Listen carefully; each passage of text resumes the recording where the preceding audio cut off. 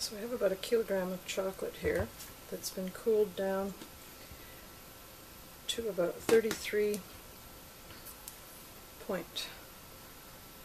degrees. I'm going to just do a little test on the temper before I add my EZtemper silk. You can see how nice and thin that is because of the temperature that it's at.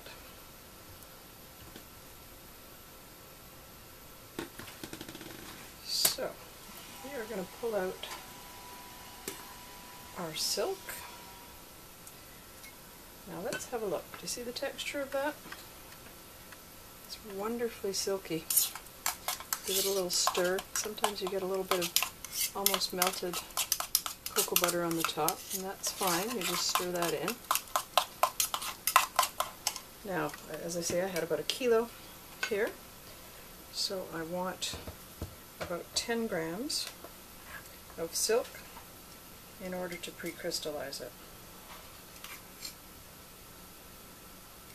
So, I'm getting good at this. Exactly 10, 10 grams. Now I'm going to put my remaining silk back into the EZtemper Close the lid. Let's get my scale out of the way. And I'm just going to stir it in. And you can see how easily it combines. One thing I have noticed, when I check the temperature after about a minute, it seems to have usually dropped about 1 degree Celsius, and I think that's because it's giving off the latent heat. So there I am, I'm at about 32.4 degrees after I've added my silk. Now at this point I could heat this back up to 33 and a half, which is about 92.3 degrees Fahrenheit. The other thing I'd like to do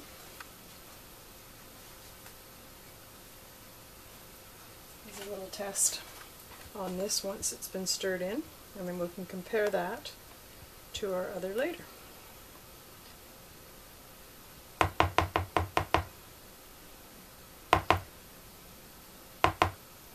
So you can see that compared to our initial test, it is actually a little more a little more viscous because it's got those beta crystals in there. A closer look here at our temper.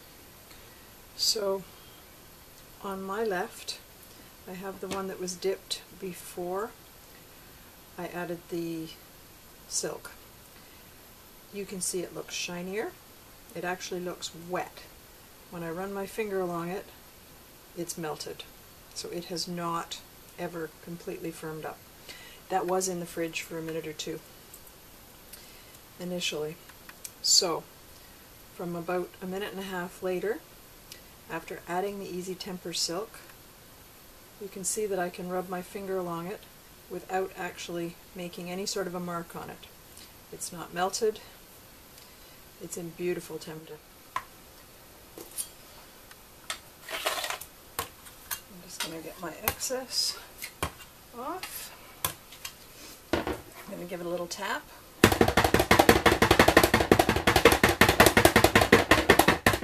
Just to get the bubbles out of there.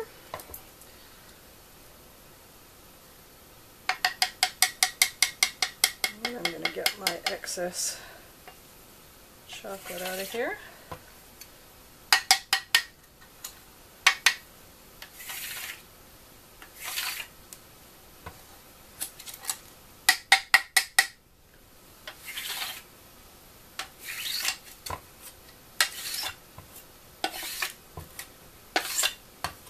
Not sure how clearly you can see that, but we're seeing the bottom of the mold quite readily through that, which indicates we've got a nice thin shell. Just going to give it another little scrape to get the excess off. Remaining in temper, you can see that kind of oil slick on the surface under the fluorescent lights.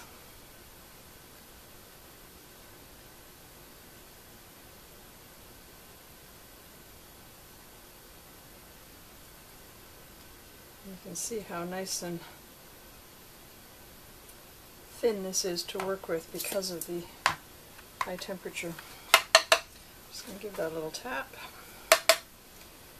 Get the majority of the bubbles out of there. A quick scrape.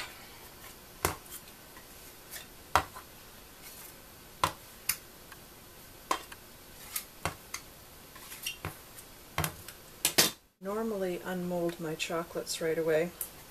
Um, I find I get a better shine if I leave them overnight, but I'm trying to illustrate a point here tonight. So, this is probably about a half an hour from when we started. And you can see they're falling out of the mold quite readily. They have a nice shiny surface on them because the chocolate is in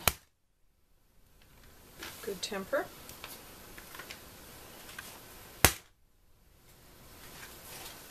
And now what I would like to do, you can see a little bit of the dark filling through. So I'd like to take one of these and cut it. That would be if I could find a knife. I'm sure I have about a dozen of them here. That's what I'm after. Okay. So, let's just cut this guy in half. And you can see that we've got a fairly thin coating there.